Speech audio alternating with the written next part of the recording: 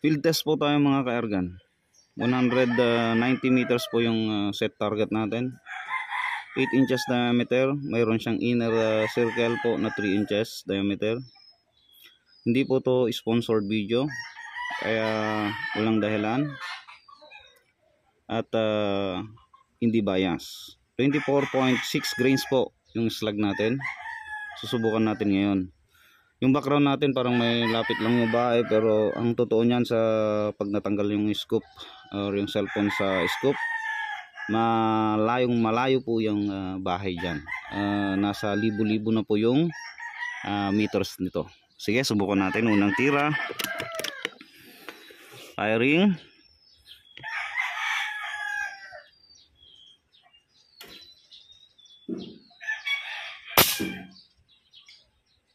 Side po ng uh, inner circle 3 inches.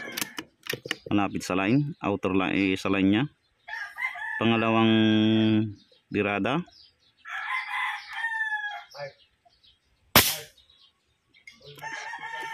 same. Same ang patama. So ibig sabihin uh, sinisipat natin to ng ng uh, siguradong sigurado sa sentro o dead center pero tumatama siya ng nag ng kanan o kaliwa ng target. Ibig sabihin mag-hold tayo. Meron konting-konting hamin nakaka-disturb. Sa bala natin. Okay. Firing.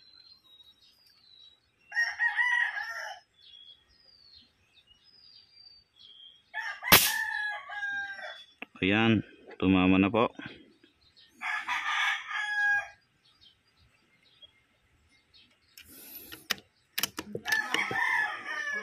sa inner circle.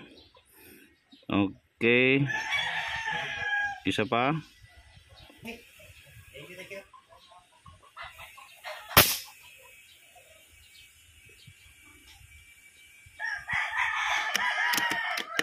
Mhm. Mm sobra na yata sa hold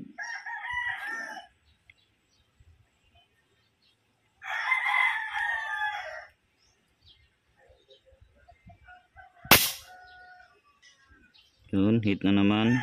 Sa gilid ng uh, circle natin yung inner circle natin. Again nag hold po tayo ng 334 pildas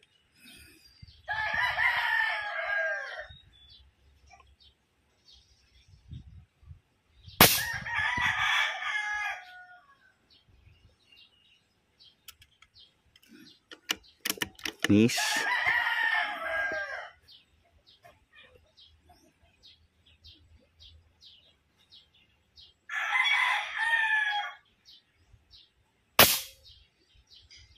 hit na naman. Lahat ng patama natin nasa gilid ng inner circle line na 3 inches. Makikita natin parang matubig po yung scoop natin yung tinatawag nating mirage po. Sa pamamagitan po niyan makikita mo yung mirage yung flow niya. Yung curl niya yung tip niya makikita mo kung saan ang direction.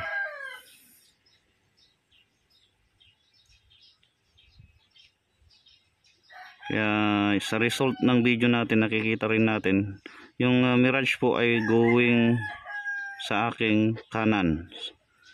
Yung uh, POI natin going kanan din. So yung gilid ng uh, inner circle na 3 inches po ang pinap dumadapo yung mga uh, slag natin.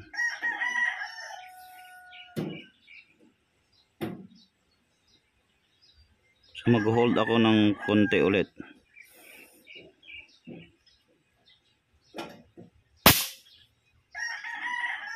okay hit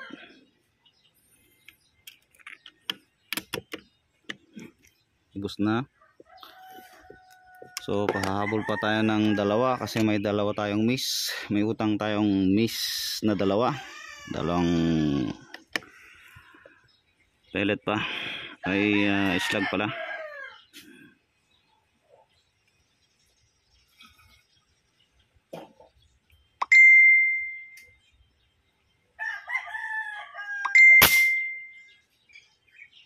Ayan, tum- pumapasok na po siya sa loob ng 3 inches na inner circle natin.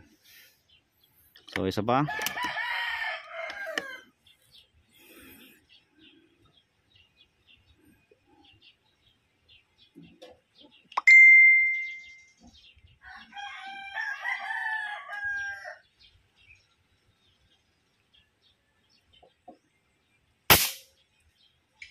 Hit na naman.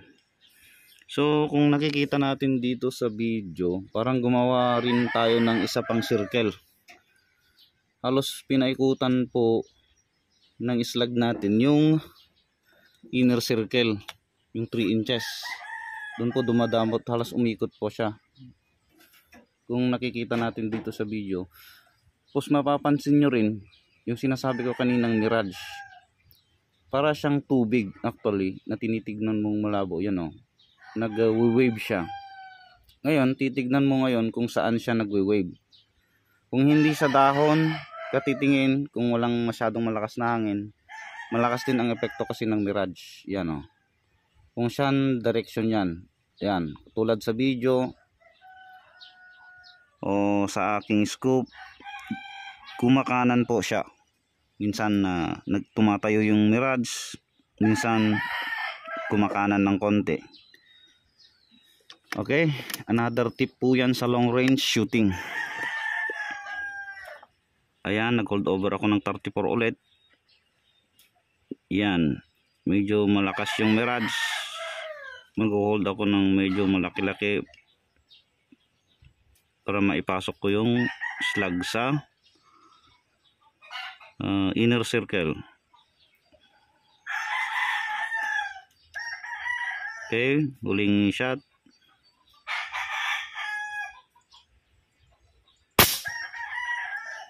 Okay hit na naman. Ayun. Maganda. Ang 24.6 pa rin nag range sa 190 meters. Kahit na ganyan kalaki yung uh, I mean uh, ganyan kalaki yung uh, holdover natin. Uh, at malakas ang mirage. Sa hangin saktong sakto lang. May epekto kasi ang mirage sa bullet uh, flight natin. Uh, binubuhat niya minsan binubuhat niya yung uh, slag natin sa long range. Pagsusubukan ko ito sa tanghali uh, I mean sa hapon or sa umaga mas mababa po sa 34 at magiging 36 na po yung holdover ko niyan sa ganyang kalayo po. Ibig sabihin pag malamig ang panahon nagbubulit trap po yan. Or umaga o hapon. Sa tanghali uh, medyo mas mataas ng uh, 2 inches ulit or 1 mil dash sa mga long range shooting. Pero pag sa mga 100 uh, below hindi na natin masyadong iniintindi kasi papasok at papasok pa rin sa 3 inches target natin. Ayun salamat